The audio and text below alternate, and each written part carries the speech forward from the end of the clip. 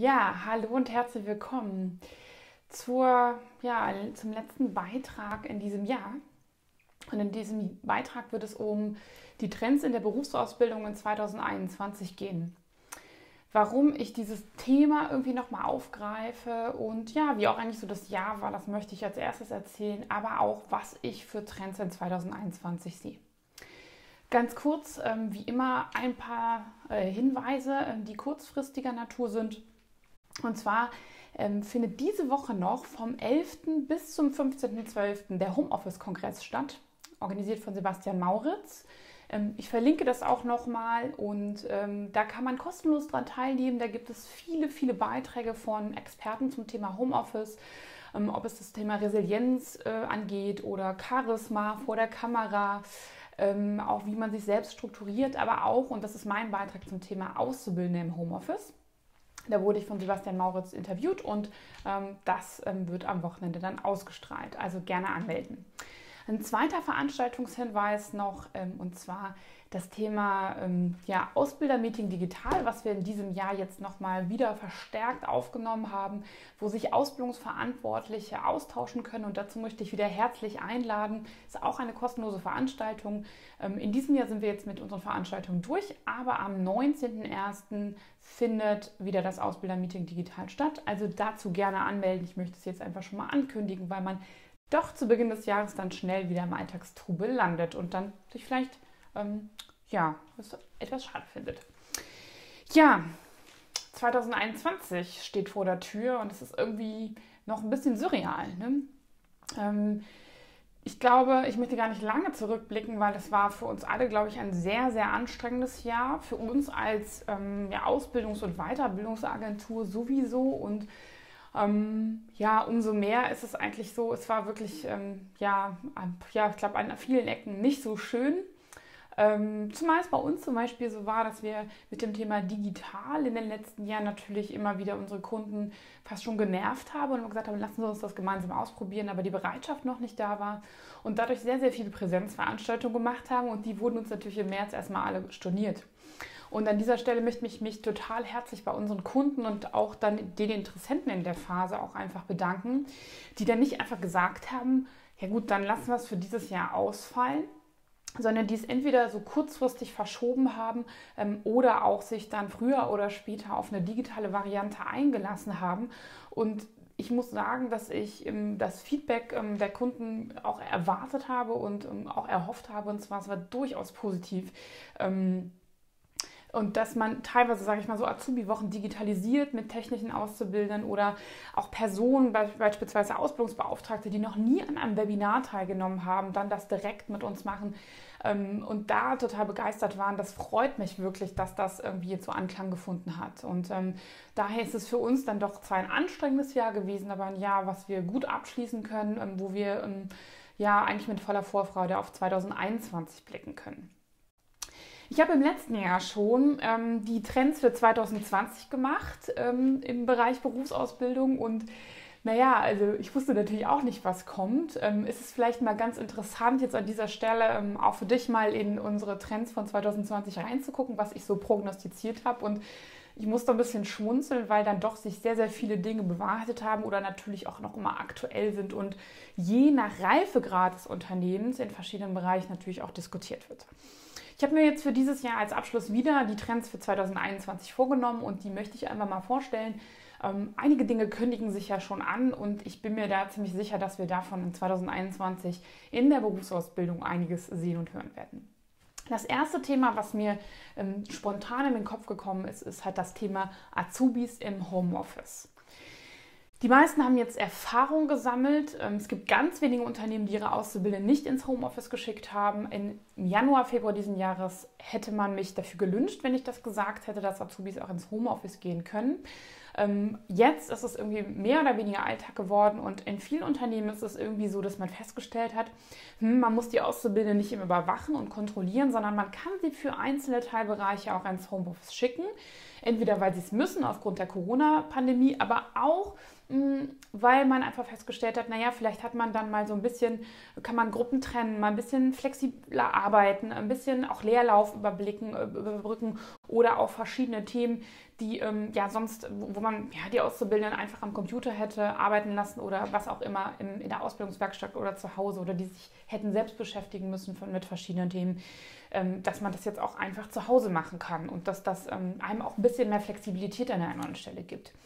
Wir haben auch festgestellt, dass, ähm, und da bin ich mir ziemlich sicher, dass sich jetzt Unternehmen entscheiden werden, wie sehr sie jetzt Homeoffice auch in die Ausbildung generell involvieren werden. Da weiß ich, dass es in vielen Unternehmen, wo das kaufmännische Arbeiten auch ähm, im Vordergrund steht oder, sage ich mal, die Verwaltung teilweise ähm, ja immer noch im Homeoffice sitzt und dass das auch ähm, ganz normal geworden ist. Man muss sich natürlich jetzt überlegen, wie man das Onboarding noch mal stärker gestaltet, gerade mit denen, die im ersten Lehrjahr sind. Aber die technischen Auszubildenden, da ist natürlich klar, da muss ich auch gucken, dass ich die motorischen Fähigkeiten schule und dass ich natürlich in Situationen auch ähm, agiere, dass sie wirklich dann draußen auf der Straße arbeiten.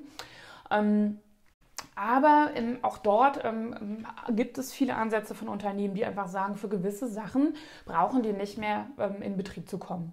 Und ähm, das, ähm, glaube ich, macht teilweise 50-50 aus. Und das ist, glaube ich, ein Trend, der sich jetzt auch nach der Corona-Zeit auch fortsetzen wird und wo man zumindest jetzt überlegt, wie man es machen kann und es nicht einfach glänzlich ausschließt. Ne? Und die, die es noch nicht gemacht haben, probieren es auch gerade aus. Ne? Das finde ich super schön. Ja, dann ähm, haben wir einen weiteren Trend, der auch ja, von mir schon prognostiziert wurde, aber der jetzt auch noch stärker in den Vordergrund gedrückt worden ist, und zwar das Thema der ähm, Unterstützung der digitalen Kompetenzen. Digitale Kompetenz ist ein sehr breiter Begriff und daher nochmal hm, ganz kurz vielleicht so ein bisschen was, was ich darunter verstehe.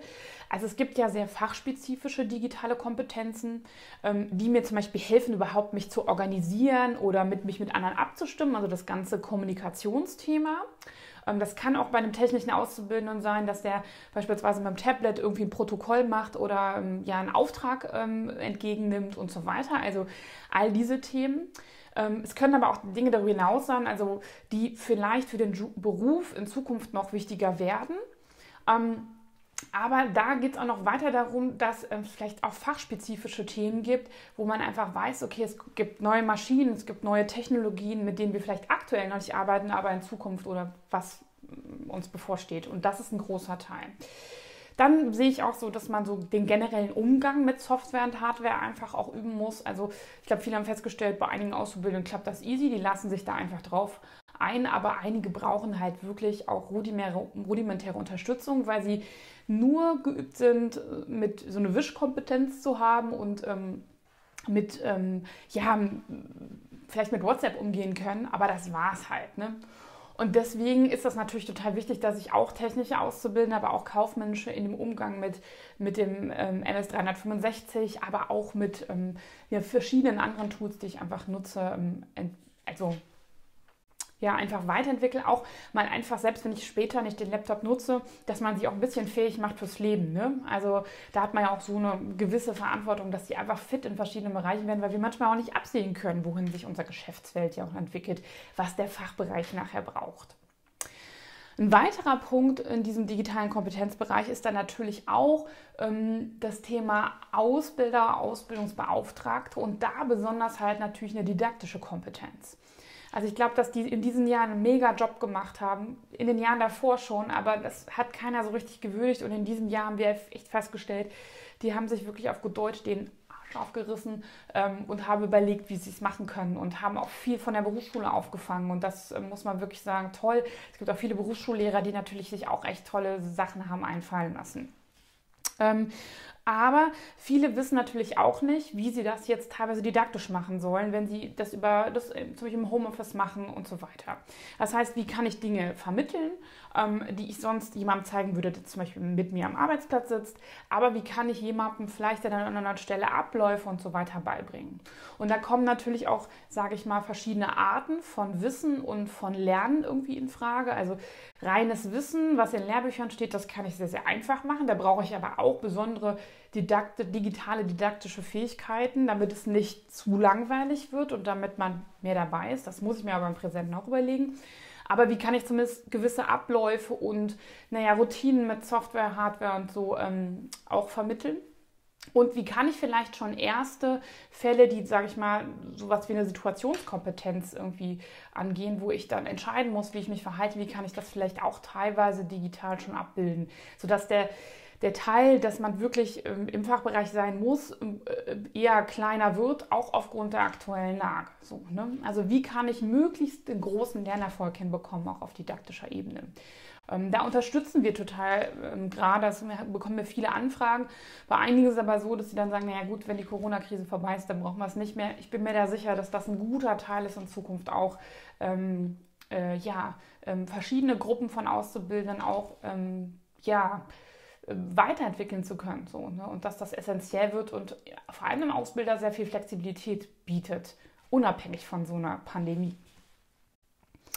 Ja, dann haben wir noch ähm, ein wichtiges Thema und zwar, das hat eigentlich mit letztem Jahr gar nichts zu tun, und zwar die große Frage der mm, Corona-Kompatibilität, sage ich es mal so. Ne? Also wie sehr kann ich mich auf solche plötzlichen Sachen einstellen und was behalte ich jetzt von den Erfahrungen, die ich in 2020 gesammelt habe mit ähm, Struktur, mit digitalem Lernen, mit Ausbilden, mit Herausforderungen, die, ähm, ja, die es bisher nicht gab, wie kann ich die jetzt möglichst nutzen? Ne? Also nicht so sagen, okay, ich warte jetzt ab, bis es soweit ist und das mal unabhängig von den didaktischen Fähigkeiten, sondern ähm, was davon wollen wir beibehalten, was macht auch Sinn und wie können wir vielleicht ad hoc auch reagieren? Also beispielsweise ähm, ist es ja vielleicht auch so, dass ein Auszubildender in Zukunft, ähm, jetzt haben wir jetzt auch die Frage, dass der in Quarantäne landet ist, oder, oder mal freigestellt werden muss wegen irgendwas ähm, oder sich vielleicht das Bein bricht, aber trotzdem gerne den Anschluss nicht verlieren will.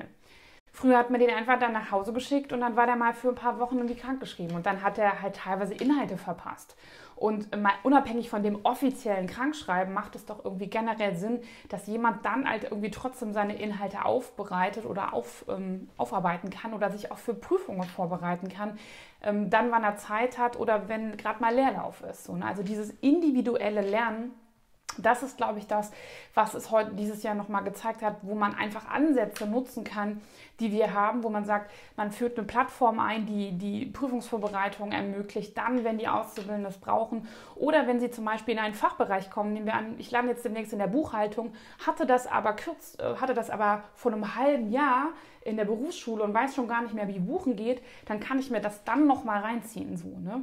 Und das ist ja sehr unabhängig davon. Also was nutze ich jetzt gerade von den Dingen, die ich dieses Jahr gelernt habe für das nächste Jahr und auch, sage ich mal, um schneller reagieren zu können, wenn irgendwelche Dinge sind. Weil irgendwas ist doch immer, ne? mit den Auszubildenden oder was auch immer. Ne? Also ähm, vielleicht springt ein Fachbereich ab. Ja, dann muss ich überlegen, wie kann ich jemanden vielleicht doch nochmal außerhalb eines geeigneten Fachbereichs dann irgendwie unterstützen. Also da gibt es ja viele Szenarien, ähm, da weißt du sicherlich mehr doch, die dir einfallen, wo sowas auch sinnvoll sein könnte, ähm, einfach so ein bisschen flexibler arbeiten zu können und zu sagen, der bleibt jetzt mal einen Tag da und hat dann trotzdem was Sinnvolles gemacht.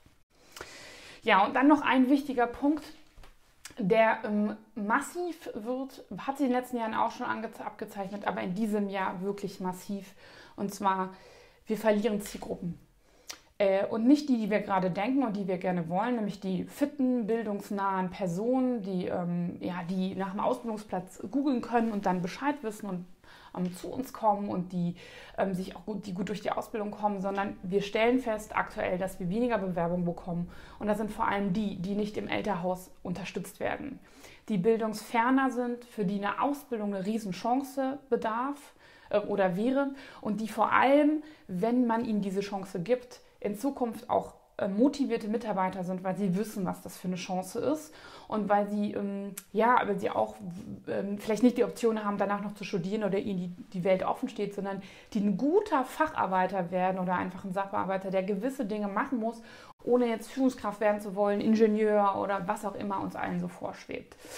Und da haben wir gerade ein großes Thema, dass diese Zielgruppen verloren gehen. Ähm, ich spreche mit vielen Auszubildenden, die total dankbar sind, dass sie jetzt einen Ausbildungsplatz gefunden haben, weil es doch in der Tat dieses Jahr schwerer ist.